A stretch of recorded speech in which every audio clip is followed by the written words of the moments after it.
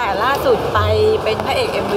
ครับผมนะะคู่กับน้องผักผมเป็นเป็นครับเป็นยังไงบ้างคะก็ถือว่าเป็นการเล่น MV น่าจะเป็นตัวที่ 3 ในชีวิตนะฮะ แล้วก็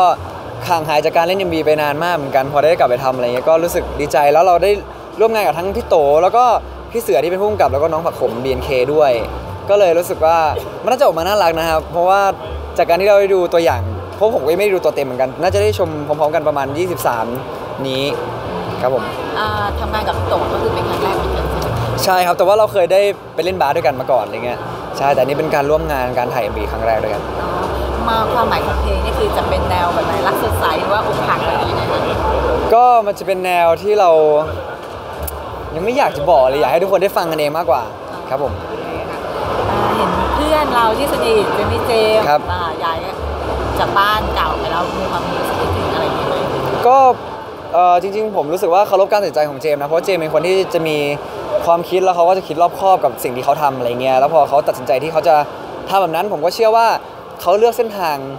ที่เขามั่นใจแล้วแหละว่าเขาอยากจะเป็นหรือว่าเขามีเป้าหมายในชีวิตอยู่แล้วอะซึ่งเราก็พอเป็นเพื่อนเนี่ยเราก็คอย support แล้วก็ให้กำลังใจเขา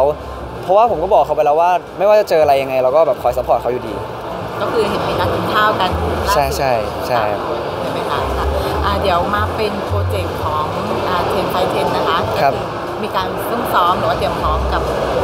อ่าโปรเจกต์นี้ยังไงบ้างคะก็ตอนนี้ก็เราก็ซ้อมมวยครับมวยสากล ซึ่งเราก็จะซ้อมช่วงที่เรามีเวลาว่างเราก็จะซ้อมช่วงไหนที่เรามีเวลาว่างหรือไม่มีงานอะไรเงี้ยเราก็จะพยายามซ้อมให้เต็มที่ที่สุดครับผมเพื่อรายการครับ กระแสข่าวสำหรับช่องของพี่เตียนะคะ คือแบบส่วนมากจะเชียร์แบงค์กันอืม ครับ แปดสิบเปอร์เซ็นต์เลยจริงเหรอครับอ่าค่ะก็เดี๋ยวมีอะไรฝากถึงคนที่เชียร์เราหน่อยครับ ก็ขอบคุณนะครับที่เชียร์แล้วก็รอชมสดพร้อมๆกันนะฮะ 12 สิงหา แต่ว่าคู่แรก 10 มิถุนายนก็ช่วยเชียร์กันด้วยนะครับ อะแล้วก็มาถึงซีรีส์ My e m e r a n d นะคะก็คือเรารับบทเป็นอะไรยังไงบ้างคะในเรื่องแม a บูลันนะครับผมรับบทเป็นผู้ป่วยคนหนึ่งแล้วกันนะฮะที่ประสประสบอุบัติเหตุทางรถยนต์ แล้วก็ หลังจากที่ประสบอุบัติเหตุเนี่ยก็มีเขาเรียกว่าอะไรอะผลกระทบทางจิตใจนิดหน่อยอะไรเงี้ยก็ถือว่าเป็น character ใหม่นะที่ที่ที่ที่คนจะได้เห็นผมในอีกรูปแบบหนึ่งครับ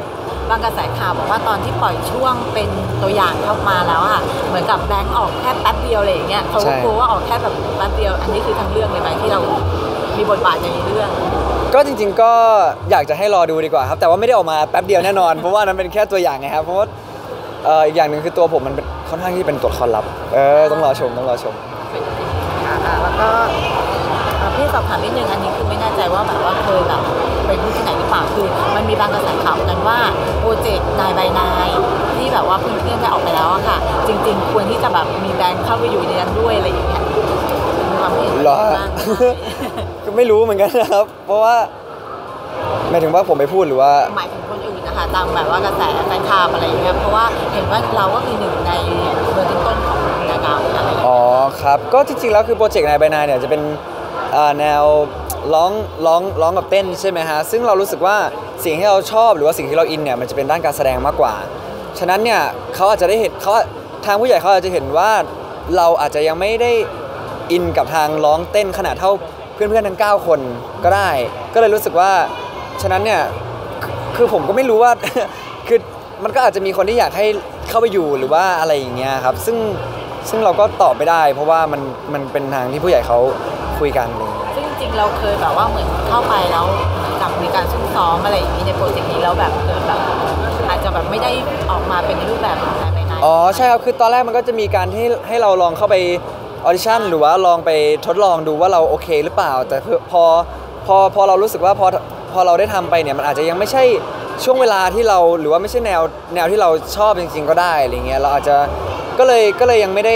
ก็เลยอาจจะไม่ได้มาเป็นนายเป็นนายอะไรเงี้ยใช่แล้วในอนาคตมีแบบโอกาสที่จะแบบดูผลงานอื่นนอกจากการแสดงละครอะไรอย่างเงี้ยก็อาจจะมีครับผมก็อยากจะให้รอติดตามกันครับนะคะฝากถึงแฟนคลับนิดนึงแล้วกันค่ะที่ติดตามผลงานเราครับก็ฝากถึงทุกคนด้วยนะครับ ยังไงก็คอยติดตามเพราะว่าตั้งแต่ กลางปีเป็นต้นไปเนี่ยก็จะมีผลงานให้ทุกคนได้รับชมกันนะครับ แล้วก็สุดท้ายค่ะฝากถึงเจ้าคุณนิดนึงว่า เราเตรียมพร้อมมาอย่างไงแล้วก็ให้เจ้าคุณบอกว่าอะไรยังไง ครับ ก็ฝากถึงน้องเจ้าขุนนะครับ สู้ๆครับ ตั้งใจซ้อมไปด้วยกันครับผมขอบคุณครับ